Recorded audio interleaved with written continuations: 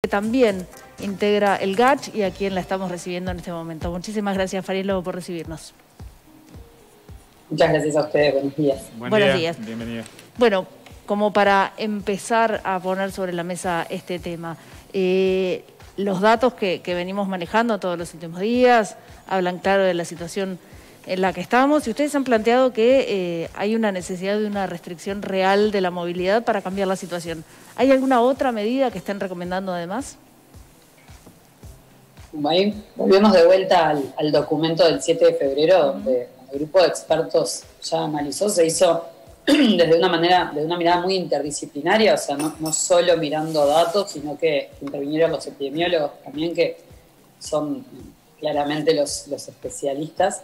Y, bueno, hay una mirada de lo que pasó en, en, otros países, ¿no? O sea, cuáles han sido las medidas que se han tomado en otros países para, para poder bajar casos. Juntando toda esa información fue que se elaboró ese documento donde se establecieron según los niveles de, de transmisión comunitaria cuáles eran las medidas que se podían tomar o que se aconsejaban, no teniendo que ser siempre todas juntas, este, pero bueno, ahora estamos en un momento de, de transmisión comunitaria máxima según, las, según la escala de la, de la OMS. Entonces, bueno, eh, está todo bastante dicho en ese documento donde, donde están cuáles son las medidas que hay que, que tomar o que se pueden tomar, ¿no? Siempre ahí de vuelta volvemos a eso de del, rol nuestro es, es, decir lo que se hizo y que funcionó en otros lados.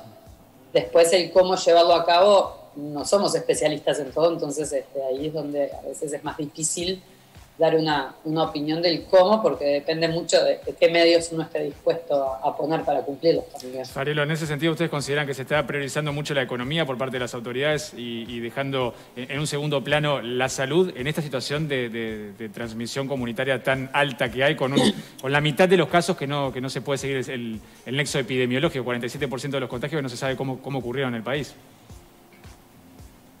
A ver, nosotros desde los datos, que es desde la mirada que yo puedo dar y donde, es mi disciplina, lo que vemos es que si bien existe un, un enlentecimiento de, los contagios, todavía seguimos creciendo, un poco más lento, pero seguimos creciendo y eso sabemos que tiene consecuencias directas en este, tanto camas de, de CTI, eh, pacientes en su casa cursando, que a veces no hablamos mucho, pero, pero bueno, una de las cosas que decían los médicos es eso, tenemos 30.000 personas que hay que seguirlas también rápido posible. Hubo un pequeño corte eléctrico ahí. Mm, pareció. Eh, pareció eh, pero bueno, ya nosotros seguimos, seguimos en comunicación con ustedes.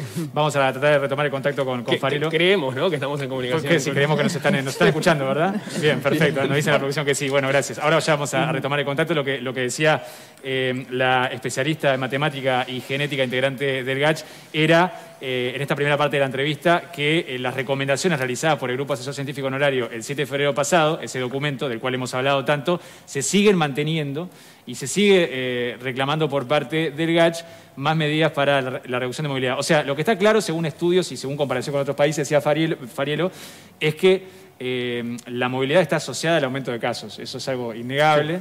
Eh, y, uno puede comparar la realidad de, los distintos países, pero eso, es, algo que, ocurre en todos. Sí, y un, paso más. Ellos dicen, la movilidad, a mayor restricción de la movilidad, eh, se ha constatado una disminución de, los baja casos, de los casos. Y, la movilidad, ¿cómo se controla? A mayor medidas de restricción. O sea, han, estudiado las experiencias en los distintos países y la manera en que tienen de controlar la movilidad parece lógico, pero hay que decirlo, es con este, medidas desde el gobierno que restrinjan la, movilidad. Por eso la insistencia en que, en que es importante. Que se, tomen desde el gobierno. En que se tomen desde el gobierno.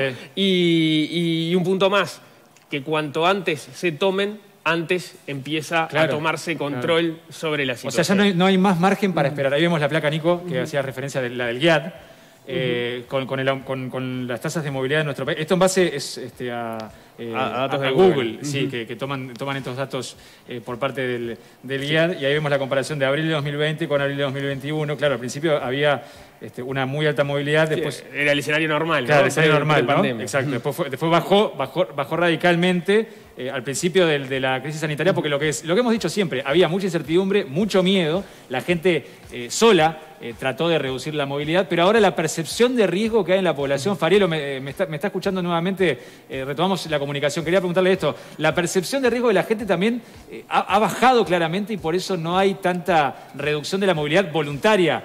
Porque el gobierno no, no, está aplicando más medidas para reducir la movilidad, pero voluntaria tampoco se está notando por ahora lo mismo que pasó el año pasado, claramente.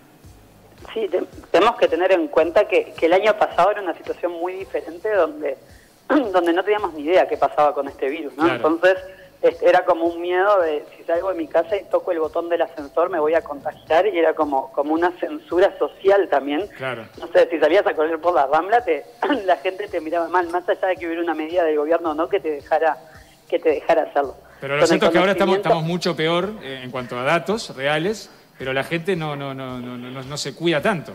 Exactamente, ahora el virus está mucho más cerca de lo que lo percibíamos en ese momento, pues en ese momento la, la circulación comunitaria no era tal porque por suerte lo frenamos muy a tiempo, también mirando un poco lo que, lo que pasaba en España, ¿no? que nos llegaban justo al mismo tiempo todos esos videos.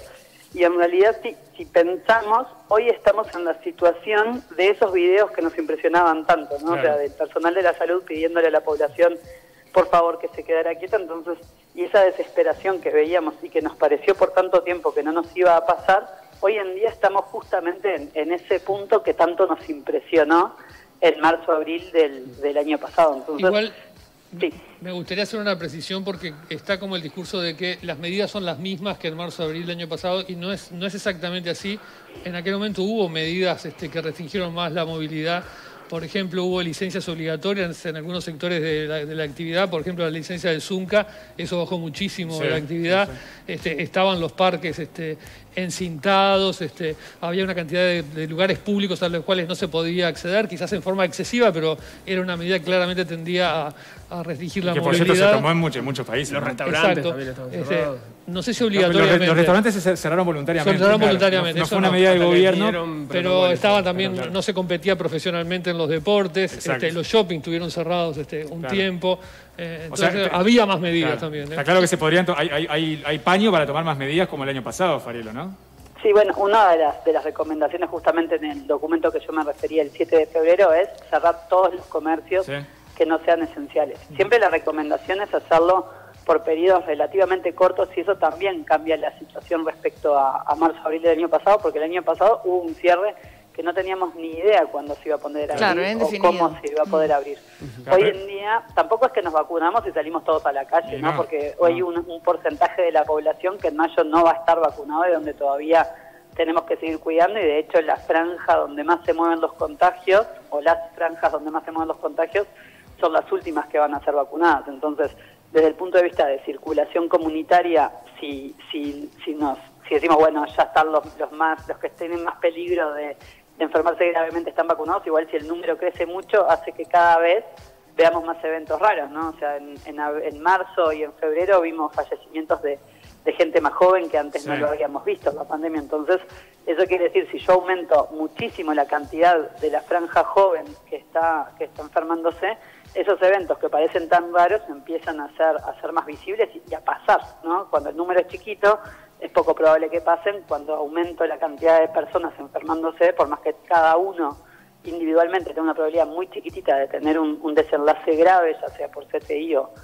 falleciendo, cuando aumento mucho ese número empiezo a ver que también pasa ahí y es donde, donde hay que tener mucha conciencia, o sea, mayor circulación del virus, vamos a seguir lamentando fallecidos y vamos a seguir teniendo este, la, presión sobre, sobre el CTI, que como comentaban recién, que comentaba Arturo, donde, donde realmente escuchar a los médicos que trabajan, o sea, sean del o no sean del GACH a esta altura, no importa qué médico sea, pero y en todos los niveles, o sea, desde los intensivistas hasta hasta los que los que están en primera línea, ¿no? Los de medicina familiar, los que hablaba recién, los que siguen a esos pacientes por teléfono, que están en aislamiento familiar durante 15 días, o sea, hay, no solo es No solo la gente está en CTI, pero los contagios, los contagios han aumentado mayoritariamente precisamente en la gente más joven, que, o sea, de, de 20 en adelante, de 25 hasta 45, que después justamente eh, quizás eh, eh, llevan mejor la enfermedad o la, pueden superar de mejor manera, pero también contagian a, sectores de la población más vulnerables.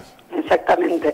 Y de hecho, en realidad, desde hace unos dos meses más o menos, el porcentaje de de personas mayores ha ido aumentando muy poquito, pero el problema es que, esos porcentajes vayan aumentando, aunque sean muy poquitos, como son los que tienen mayor probabilidad de tener desenlaces graves, ahí es donde, donde empieza a jugar que ese porcentaje tan chico vaya creciendo, también te aumenta la cantidad de gente que, que puede ir al CTI. O sea, no solo tenemos que enfermarnos todos menos, sino que tenemos que seguir cuidando un montón a, a los más mayores y justamente también no cuidarse los jóvenes porque de repente muchas veces pasa que hay gente joven que dice, bueno, pero yo no tengo contacto con adultos mayores, entonces corro el riesgo porque es mi riesgo personal.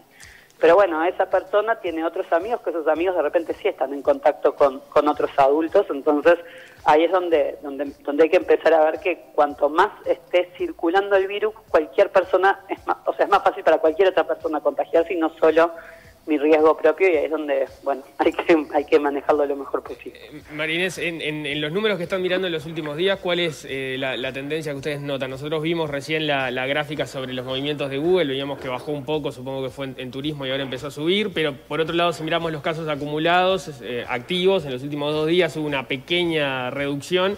También eh, el, R ha estado más cerca de 1 que de 1,2, que es cuando en general eh, este, han ido aumentando los casos con mayor velocidad. ¿Ustedes qué, análisis hacen eso, de, los microdatos de los últimos días?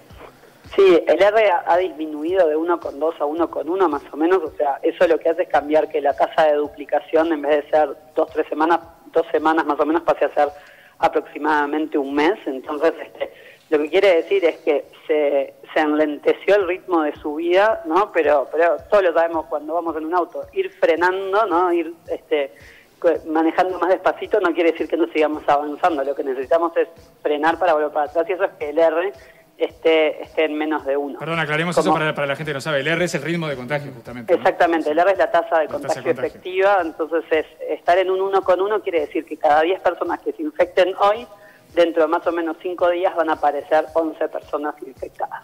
Eso es en promedio, o sea que la mayoría capaz que contagia solo a uno, que alguno contagia a nadie, pero hay otros que van a contagiar a dos y con que una persona contagie a dos, eso ya hace que, que el R empiece a estar, en promedio, ¿no?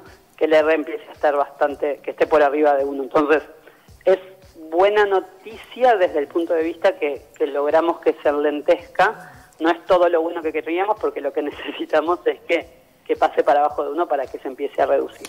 Probablemente el efecto este tenga que ver con, con el efecto de semana de turismo, entonces ahí la, la no es es una correlación, ¿no? Que siempre tenemos que hacer énfasis en lo mismo, o sea, la movilidad es como una medida indirecta, lo que necesitamos es que no haya atajos entre burbujas, donde burbuja hoy en día tiene que ser con las personas que yo vivo y tengo que reducir todas las otras posibilidades de, de tener contacto con otra, entonces ahí es donde también hay que tomar el máximo cuidado en, los trabajos y en todo lo que sea, porque de vuelta el R enlenteció, pero no llegó a, estar mejor que uno, o sea, seguimos creciendo despacito, pero seguir creciendo despacito implica que el CTI sigue creciendo, por más que sea despacito, donde ya recién ustedes mostraban este, opiniones de diferentes lugares, donde está en mucha atención, y los fallecidos también siguen creciendo, y bueno, cada fallecido ya lo, lo tendimos a naturalizar un poco estos números de de fallecidos, pero hay que tener en cuenta que, para Uruguay, y, mismo comparándolo ya con otras enfermedades que antes se decía, bueno, el COVID no es un problema porque como causa de, fallecimiento es, es casi que despreciable comparado, eso fue durante 2020 por suerte, hoy en día no, hoy en día sabemos que se compara con las principales causas de mm. fallecimiento, entonces es un problema grande. Marinés, ayer se dio esta reunión ampliada del GACH, eh, me interesa saber cómo van a seguir trabajando, ¿no? Porque no se emitió una nueva recomendación, entonces, ¿cuál va a ser de ahora en más la línea de los expertos para seguir trabajando eh, para, tratar de contener el virus?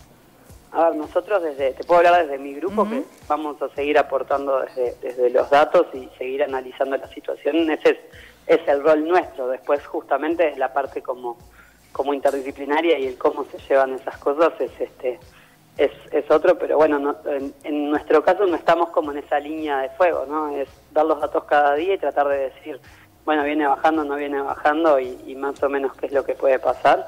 Este, en ese sentido, mientras, mientras sea útil, ya sea, como decían, al gobierno o para la población, vamos a, a seguir haciéndolo porque, nada, creemos que es importante también mantener informada a la población. Entonces, desde ese punto de vista, este, nada, estamos estamos para, para ayudar en lo que sea posible. Farielo, eh, ¿es posible que, como ha pasado si estamos, eh, por un lado tenemos este tren que avanza en, la cantidad de contagios, por otro lado la vacunación. ¿Es posible que a pesar de que aumenten los contagios por efecto de la vacunación, comiencen a disminuir las cifras de muertes en algún momento? O ¿hay un momento en el cual podamos esperar eso?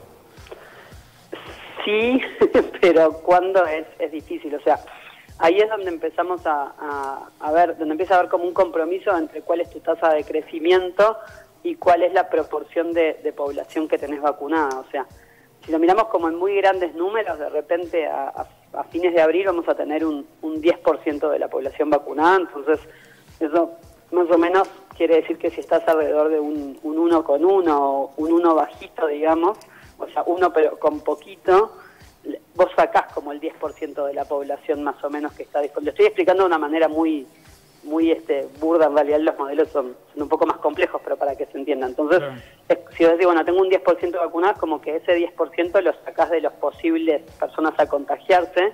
Entonces, si tenías 10 personas contagiadas y se iban a, contagiar 11, pero tenés un 10% vacunada, ya hay una que no se te va a contagiar, entonces más o menos te equilibra, te equilibra a que te quede a que te quede parejo. El tema, es, el, costo de, para llegar a, a, que, bajen las muertes, digamos, o, los contagios por la vacunación. En, todo ese tiempo para llegar a eso, la, Pero 10% estamos hablando de con las dos dosis, ¿no? Eh, con, una dosis, que, que, está bastante, por ejemplo, un caso muy notorio en estos días del doctor Nay Castillo que, se había vacunado, que se había vacunado y bueno, la, pasó mal, pero con una dosis eh, está saliendo adelante, por ejemplo. Es decir, eh, ya han habido experiencias en otro lugar del mundo que una dosis con suficientes días, dependiendo también si es Pfizer o, Sinovac, este, pero bueno, que por lo menos la muerte la evita, digamos. Sí, en el caso de la salud ya, ya estamos viendo mismo esa reducción en, en contagios, o sea, mientras en la, en la población sigue subiendo, por lo menos en la salud dejó de subir, o sea, todavía no empezó a, bajar claramente, pero